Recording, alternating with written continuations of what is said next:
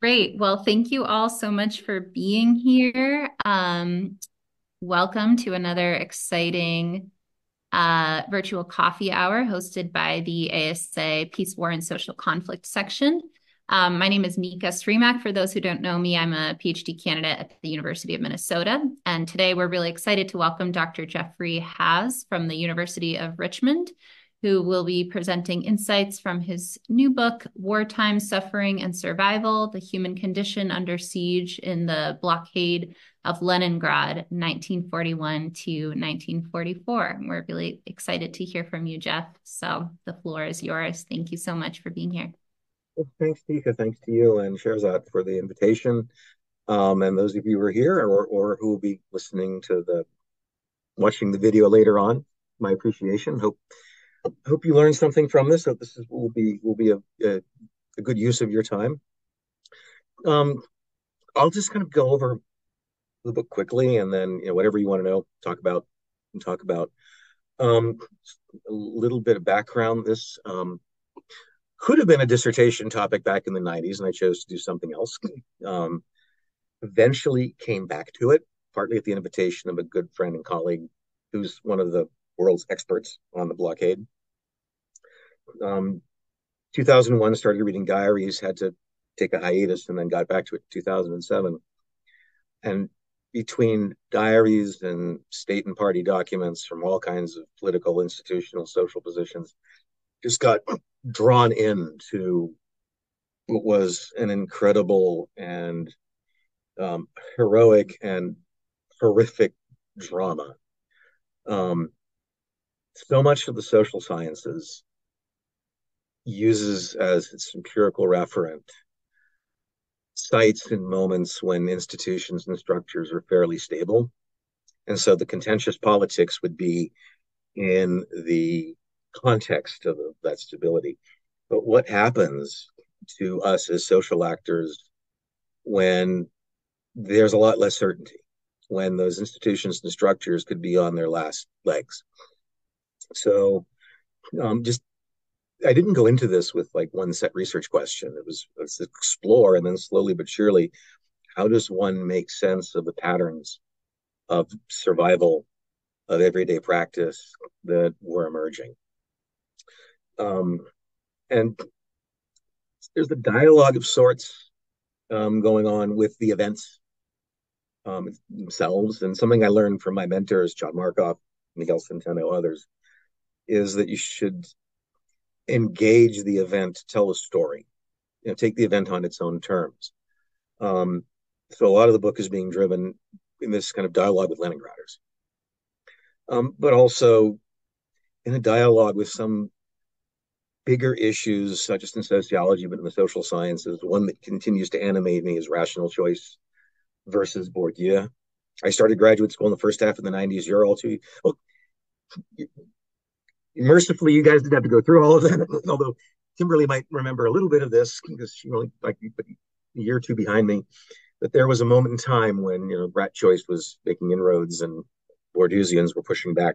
So I'm still caught up in in that struggle between these two frameworks and is there a synthesis that come out of it um, but you know, just kind of reading through the material and wanting to do something on the blockade i only have three slides so don't worry um, basically as i worked through this stuff kind of four big sets of themes and questions emerged and they're interdisciplinary um, the first and the last are a little more social sciencey um, one of which is in this kind of situation, um, who are we?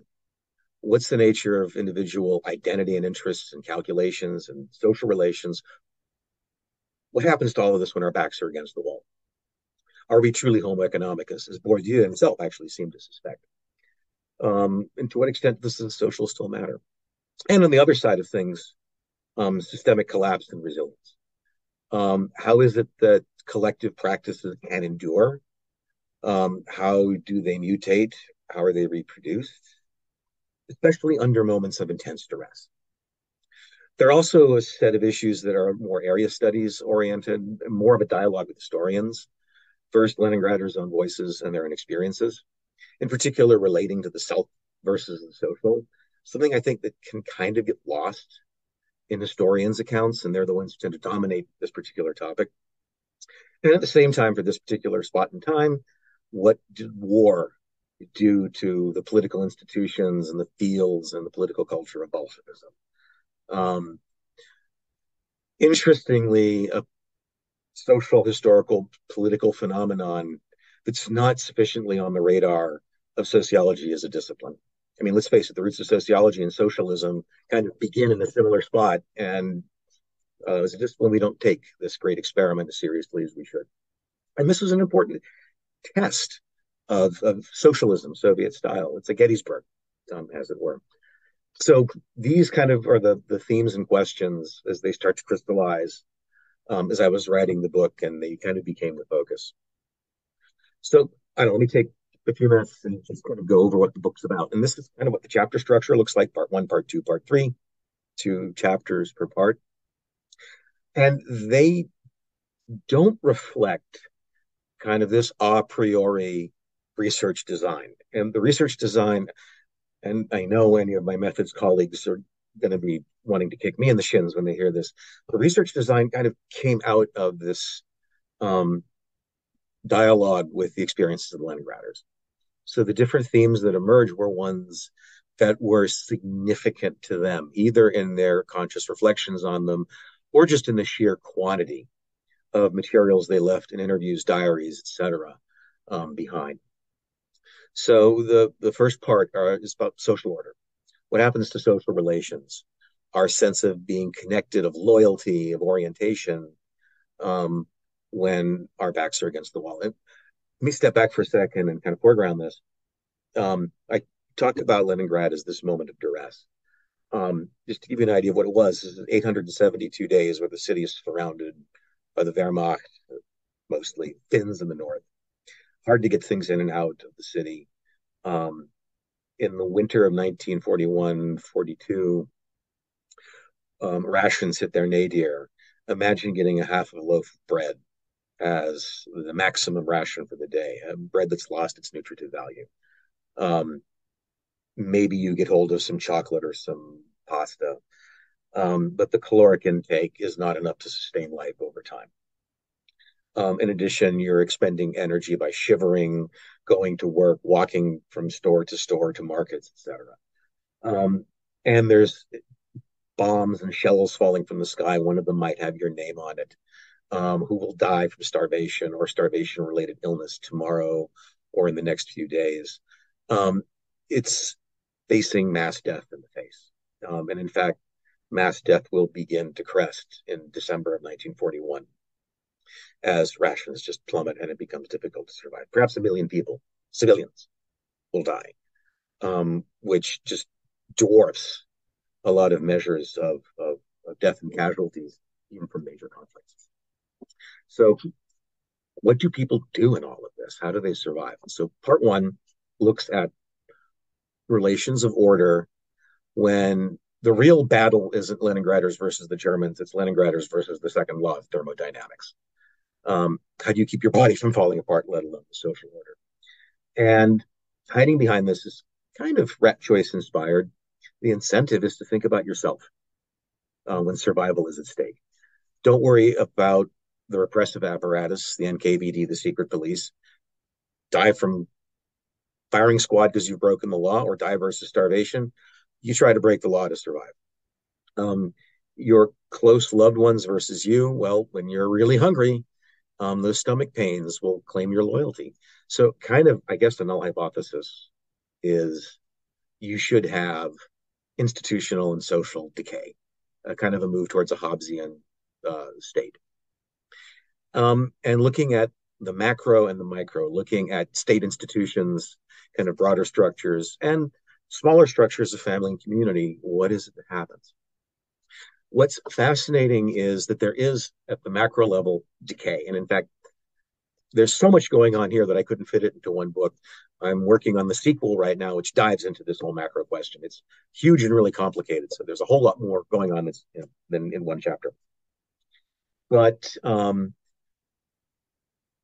cadres, officials who have who have proximity to food will start stealing it and selling it on the black market, in the shadow market, it's called, where desperate Leningraders will go and trade whatever they possibly can money, uh, gold watches, pictures. If you have a piano, pianos. I'm, I'm not kidding. People would trade pianos for food. Trade whatever they could. And this creates this interesting situation of dual power almost, kind of Trotsky's idea of dual power in revolutions. That On the one hand, you got formal institutions of provision, especially food. It was a method of Soviet social control, as well as legitimating the welfare state, versus the rise of a market in the shadows of and drawing on that formal state centered economy, um, creating dual loyalty, as it were. The average civilians are, on the one hand, oriented towards getting rations from the state and going to the black market, which is drawing on food from the state, undercutting state capacity, as it were. This should sound like a recipe for decay. It should sound like a recipe for disorder. And in fact, the state does start to lose some of this uh, social control over its civilians.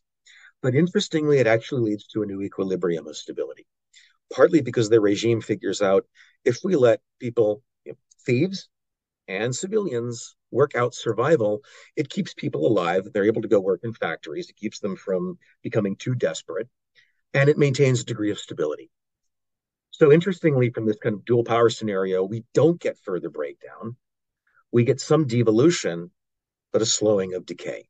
And that helps maintain order, interestingly.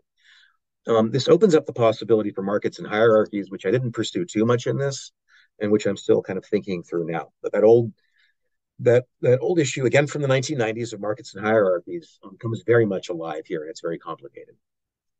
When you get to the micro level of communities, families, especially, um, you get this interesting tension. On the one hand, between this urge to be opportunistic, to steal food from anyone you can in order to survive, and you do have cases of this, whether it's people stealing bread from other people in bread lines, um, whether it is one civilian promising another, give me your ration cards, I'll run to the store, get your rations, and come back.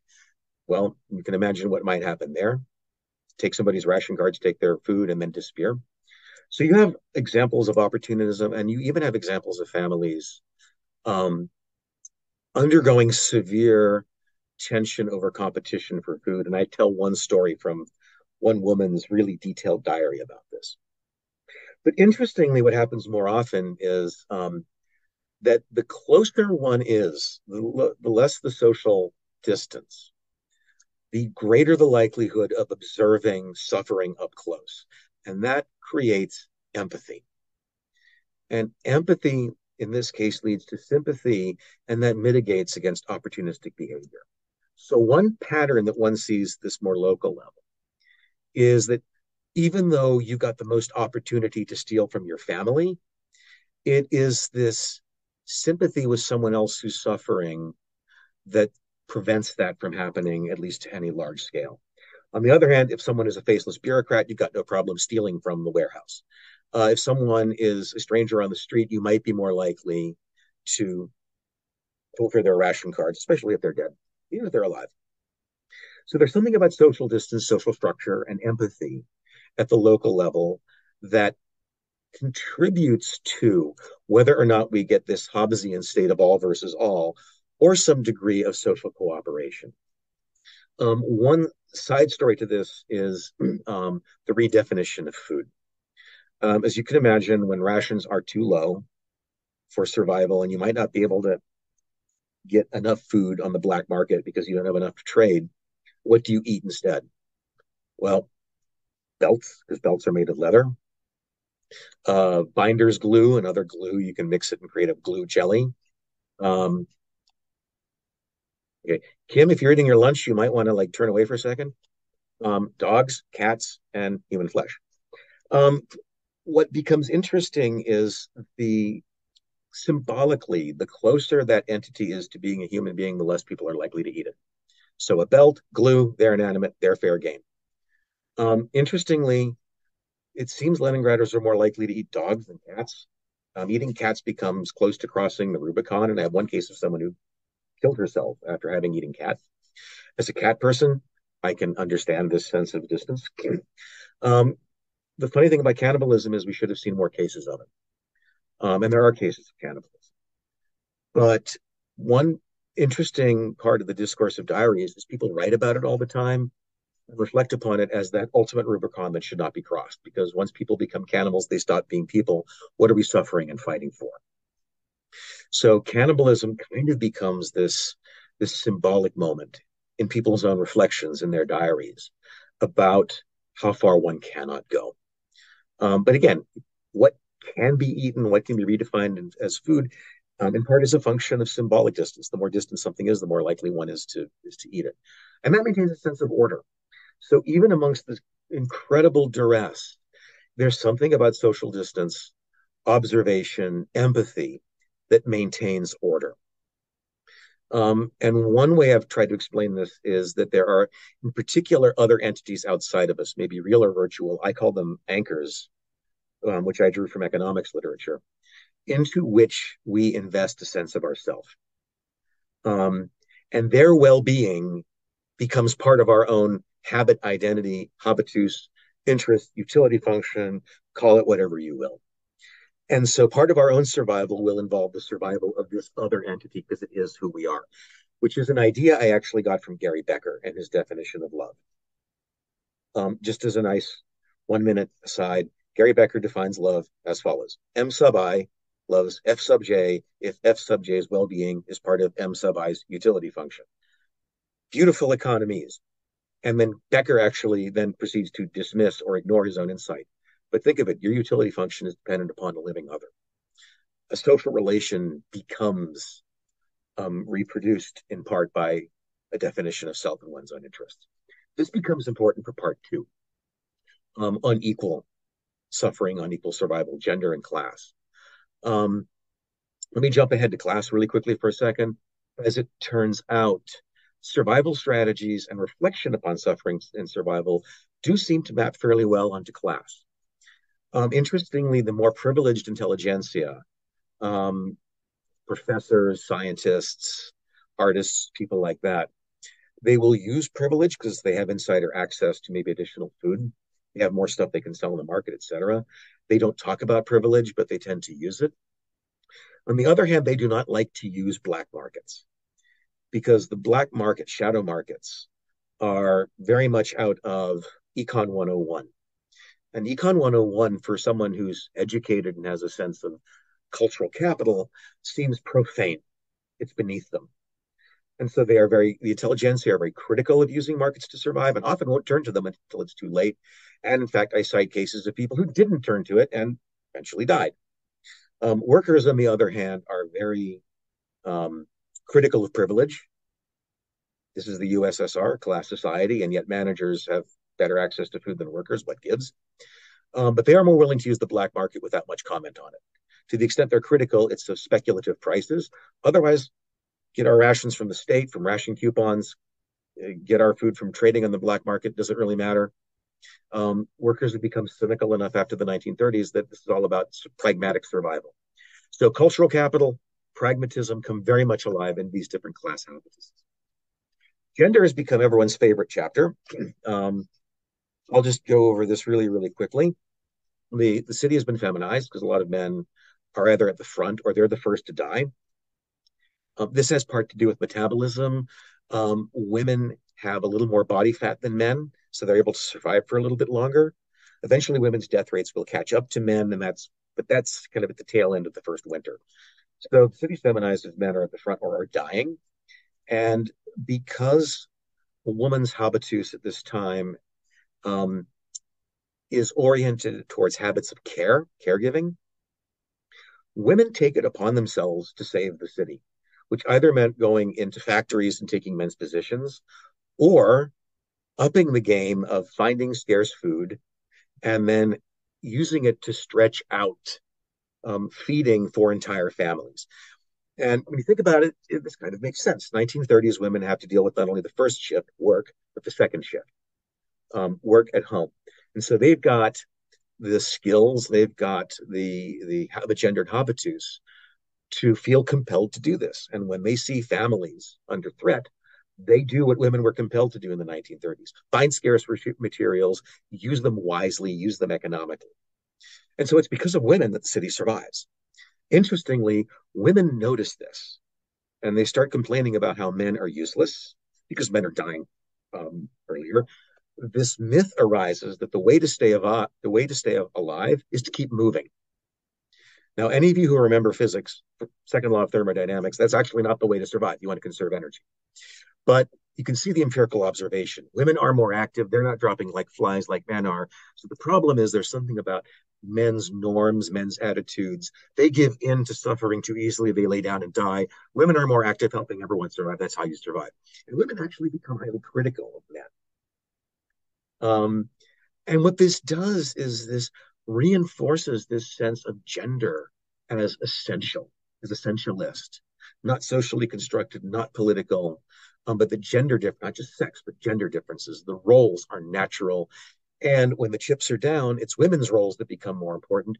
Women raise the status of these gendered women's roles, which in the end further reproduces and reentrenches the sense of a gender divide, of gender difference. Um, so it's fascinating how a gendered habitus, in this sense, actually contributes to survival, but then reproduces the gendered habitus in the moment of duress. And I've, interestingly, I've seen other cases of this elsewhere in the Civil War, um, in Sarajevo, and I'm seeing some work come out on Ukraine since 2014, which shows this gender division of labor that contributes to this reproduction of gender essentialism. now, I've talked about survival in the face of collapse and just the amazing things that people were able to do to survive. Despite that, there is mass death, up to a million people dead. Um, there's a mass set of mass graves in one cemetery where around 500,000 people are buried. It's just enormous. It's depressing. Putin uses it for political purposes, etc. Um, and so mass death was the flip side to survival. Um, and how did people cope with this? Um, chapter six looks at the different strategies and your the strategies and practices of coping with mass death actually depended upon one's field position and relation to the dead. Within the state the dead were viewed as this violation of social order aesthetics and discipline.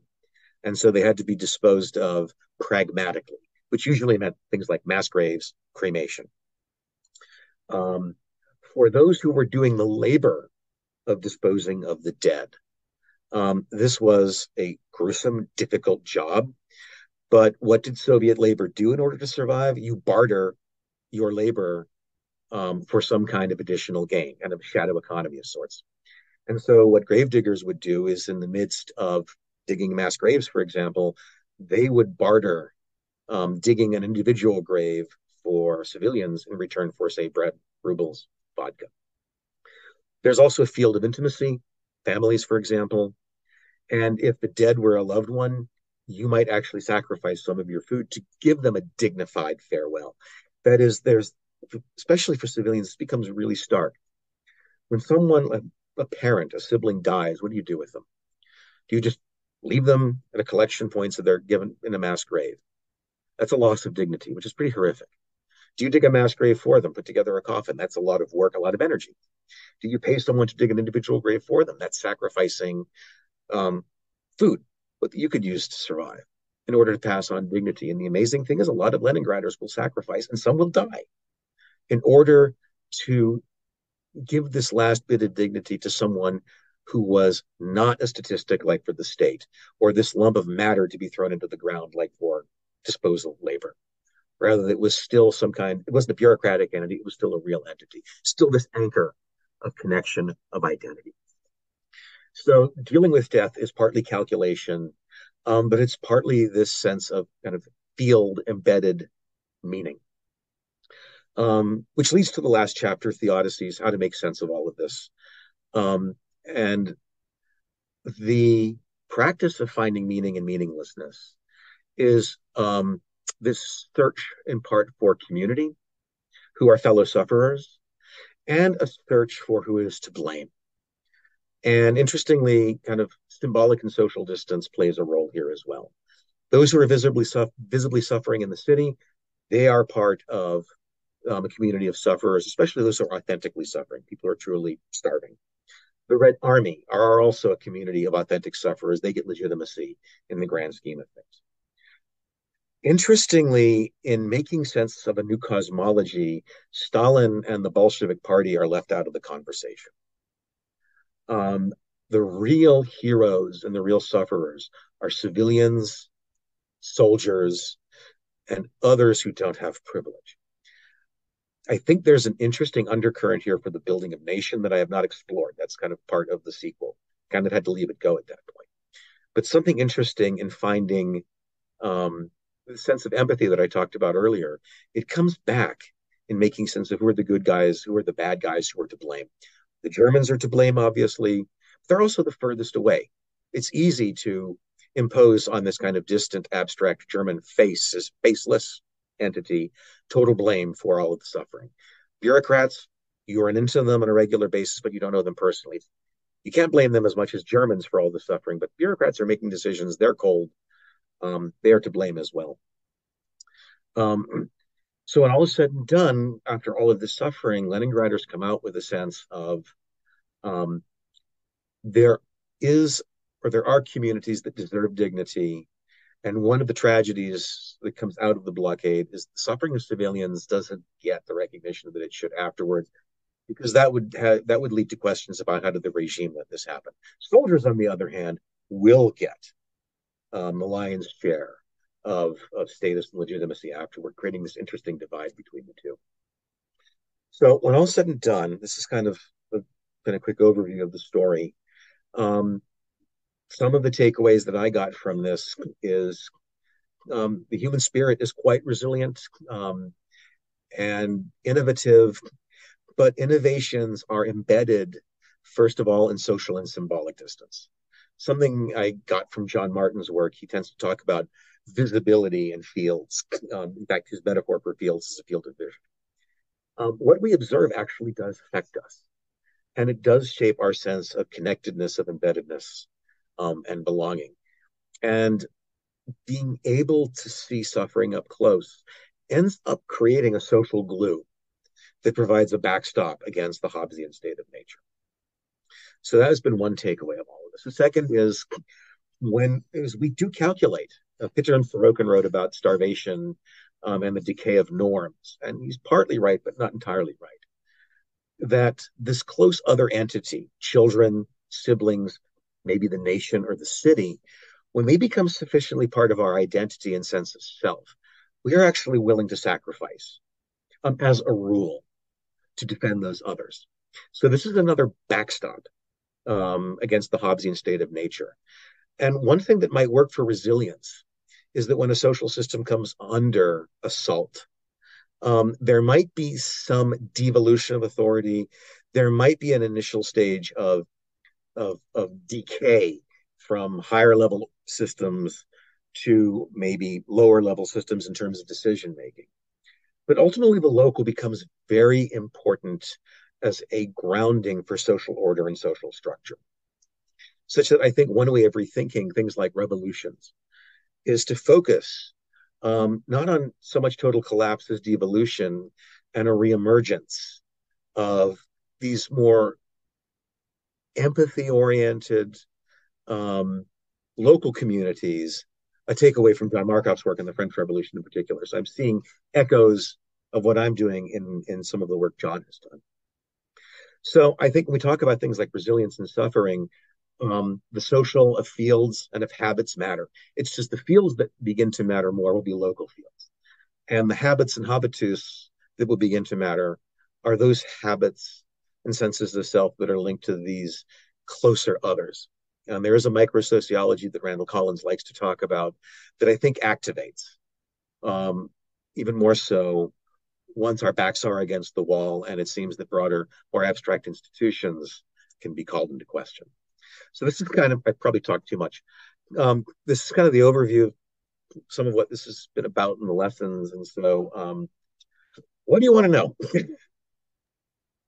Jeff, thank Thanks you so much. This was actually like a really succinct overview of the book. So I really appreciate that we got to get all of these insights from it.